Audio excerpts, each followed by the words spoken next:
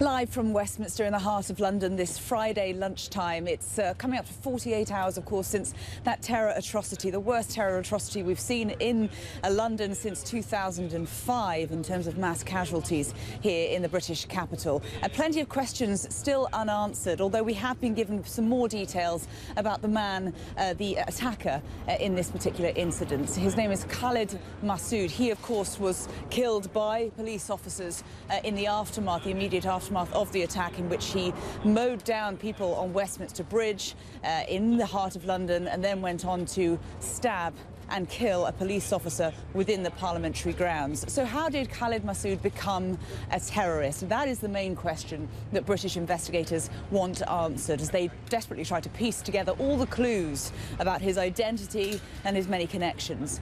The man behind Wednesday's London terror attack was born here in the UK, but he was born under the name Adrian Russell Ajao. He had multiple aliases and multiple convictions, some of them for violent crimes, but he, he was not linked uh, until now, of course, to any terror-related offences. So investigators want to know how exactly he became radicalised and, crucially, whether he acted alone.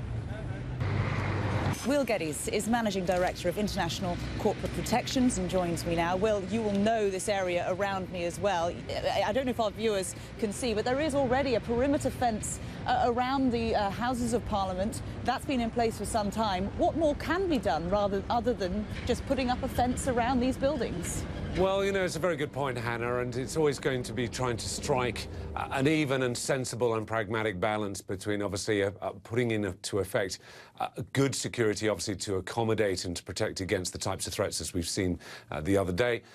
Nick Paton Walsh is on Westminster Bridge for us, where people have been laying flowers, and joins me now. Nick, describe for us the scene around you. It's bustling, to be honest, Hannah. You know, remarkable that a 40 hours or so ago here, uh, you would barely be able to get on here because of intense forensic activity by police. Tributes there to the victims of the terror atrocity from Wednesday. But now the focus of the investigation is very much on Khalid Masood. Uh, this is the attacker, the perpetrator of these crimes. How did a British-born man in his 50s, who's 52 years old, become radicalised in the first place? Well, I'm joined now by John Gearson, who's a Professor of National Security Studies at King's College here in London. Professor, thank you very much for coming down and speaking to us. Um, some of the newspapers today have described Khalid Masood as a, a middle-aged thug turned terrorist. Um, he wasn't a millennial, perhaps not as impressionable as some of the other terrorists, would-be terrorists that we've seen over the years. How do you describe a 52-year-old committing these sort of crimes? Well, he fits certain profiles. I mean, there is no single profile of a radicalised uh, individual who turns to terrorist acts.